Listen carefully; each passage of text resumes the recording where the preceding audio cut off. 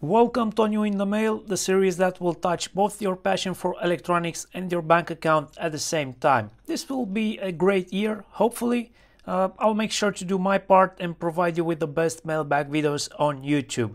We're going to start with this utility knife. It's the Xiaomi type knife that I showed in a previous mailbag, uh, but I liked it so much that I got another one. I'll keep one in my laptop backpack for general stuff like opening packages, envelopes, and one at my workbench for general purpose stuff. The body on this knife is aluminium and the build quality is really nice. They feel perfect in the hand, the perfect weight, and you can get them with a set of uh, super sharp replacement blades, and they're pretty cheap to buy as a set with everything considered. So if you haven't already got one of these, I highly recommend you get one. You will find the links in the description below the video.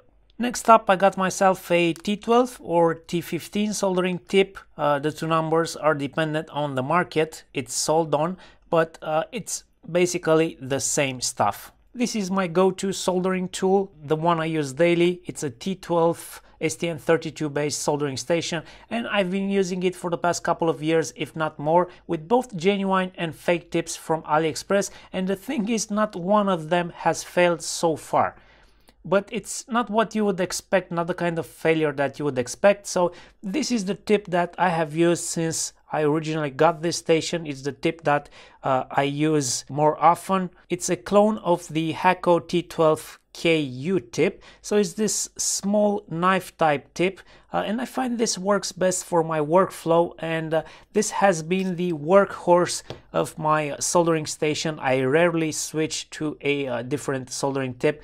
Now, as you can see, uh, the tip on this one is still in a pretty good shape, still solders fine, takes solder with no issue, even after many hours of usage, uh, but it failed in a different spot. The tip is uh, somehow glued and uh, sealed towards the uh, bottom of the uh, assembly where the contacts are and it's somehow separated at this spot. As you can see right now I can spin the ceramic part inside the metal part and you're not supposed to be able to do that. And this happened about a month ago. I don't remember exactly how I was uh, switching tips and I probably inserted uh, this too a bit too hard. I, I may have also spinned it inside the handle if it uh, wasn't making a good contact the first go.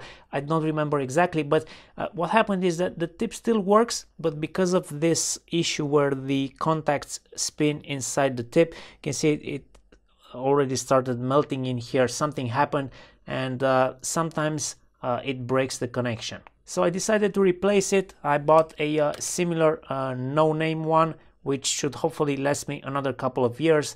I also must admit that uh, since I got the JBC clone, I'm also uh, sometimes uh, using this one for various small soldering jobs.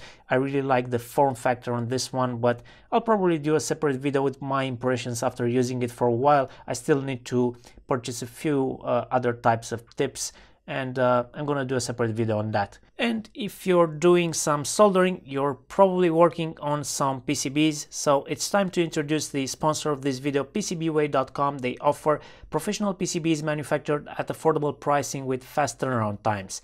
They also offer complete turnkey solutions where they handle everything from sourcing the parts to assembling and testing your boards before shipping so you can get them fully assembled. Check out their website link below and order your PCBs. Next up, let's continue with some wiring uh, that I got recently. These are all JST-SH connectors, which means uh, they are 1.0 millimeter pitch. And I plan to standardize on these for uh, small projects that I will be building next. Uh, that means using this connector for programming ESP32 boards, for example. And I'm also working on a custom programmer board that will complete the link and feature the same connection.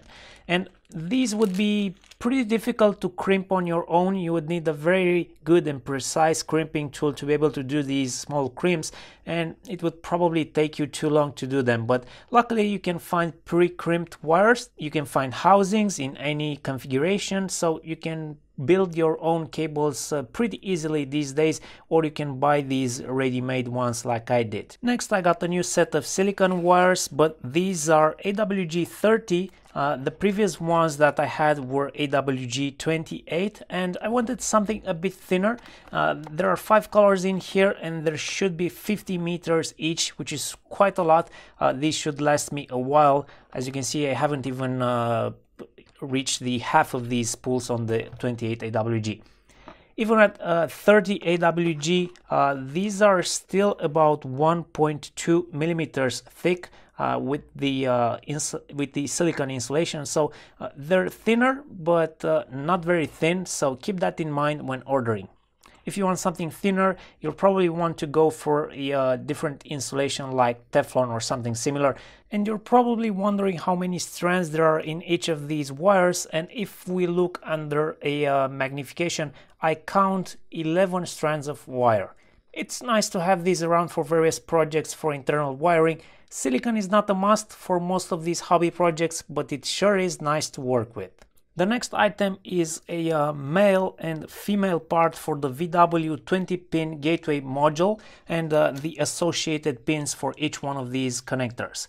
If you've watched Voltlog 342 you noticed I'm uh, working on a project where I want to hack the CAN bus network on a VW car. I'm doing some reverse engineering and at some point uh, I plan to place my own device on the car's bus to inject, inject some of my own data and I highly recommend you watch that video if you are into this kind of uh, stuff. And just in case I might have to do some debugging or reverse engineering by inserting my device um, at the gateway connection where all of the different CAN bus networks are joined, uh, I got this uh, set of connectors so I could build this like man in the middle type of adapter where I could split or tap uh, whichever bus I'm interested in and still have them pass through to the gateway. Uh, I would happily get these used from like a car junkyard instead of buying from AliExpress, but unfortunately they're not very friendly around here uh, when the only thing you want is small stuff like connectors. Hence, I need to buy them from uh, AliExpress. And to go with uh, these uh, connectors, uh, I got myself some 24 AWG wires that I will twist together myself to form the uh, required twisted pair for a CAN bus network. Uh, the original wire looms are 22 AWG on the car, but I really don't need to go that thick for these short distances and the hobby nature of the project. You can also find ready-made twisted pairs in 22 AWG size. I think they're the genuine stuff, but they're quite a bit more expensive and uh, it wasn't worth it for me, especially since in that case I wouldn't be able to use them for other purposes given their uh, twisted pair nature. However, if I would be replacing or adding into the car's network, I would consider that of higher importance and I would go for the uh, correct genuine wiring in that case just to keep the impedance of the line at the expected value of 120 ohms. For my hobby projects, however, these uh, 24 AWG wires uh, and the uh, DIY method of twisting them will work just fine. These hooks are great for hanging stuff on the side of a metal shelf like I'm using for storing various plastic bins. Uh, I usually hang stuff like multimeters that come with a carry case, stuff that I will occasionally need to use but not too often. And if you have a proper workshop with a tool hanger on the wall, you can probably use them for that purpose as well. I'll try to include some overlay pictures uh, as to how I'm using these. Uh, my secondary purpose would probably be somewhere in the kitchen for hanging various stuff these are cheap, convenient to use, so it's well worth buying a set of these. These are magnets and they're designed for uh, like a necklace or bracelet type configuration because they have these tiny holes uh, through which you can pass some uh, wires and attach stuff but I'm not into building those instead I figured these would uh, work okay for posting various stuff on metallic surfaces and uh, sticking it with um, a very small magnet like these, like on a fridge door, for example. Or if you are into building wearables, you could probably use them for a few different uh, scenarios and make various connections uh, with these. Next up, I have a couple of uh, different types of switches. These ones with the blue shaft are the motherboard type switches that we used to have in every computer case for the power on and reset switch and these are uh, double pole double throw switches with a self-latching mechanism. They're about 7 by 7 millimeters wide and the uh, DC current uh, rating is probably pretty low. I wouldn't use these for anything more than 500 milliamps. Um, I have recently used a bunch of them in the VW cluster project. Uh, I wanted to simulate various analog switches for sensors that are inputs to the cluster, so I assembled a bunch of these on a uh, test board.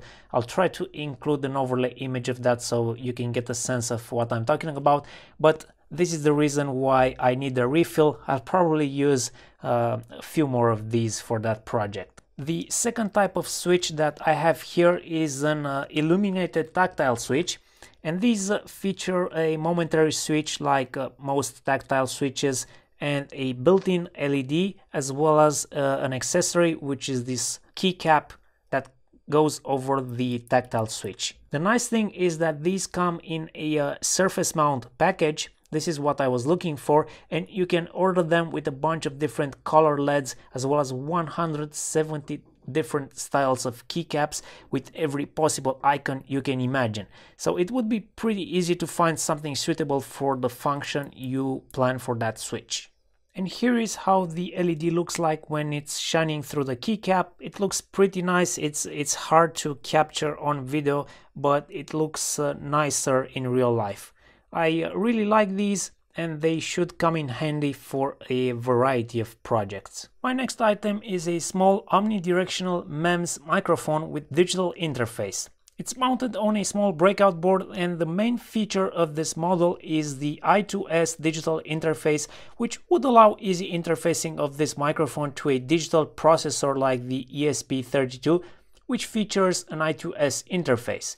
You wouldn't need an ADC or other type of codec, just get the digital data which you can then process as is. Now the actual part number for this microphone is INMP441. This is manufactured by TDK and if you go to their website you will notice uh, the part is marked as obsolete. It's not recommended for new designs but since there is a bunch of these available for cheap on AliExpress I don't think that's a good reason to not use it for hobby projects, so you'll find the link to this in the description below. There are easy to use libraries for Arduino that will help you plot amplitude or even do an FFT on the signal coming from such a mic. And the last item in today's video is this set of very tiny pogo pins. These are just 3 millimeters in height and I'm keeping them in the bag in order not to lose them. I really need to uh, put on a macro lens so I can show you a close-up of these, uh, but I plan to experiment with some DIY spring clamps for fast programming of boards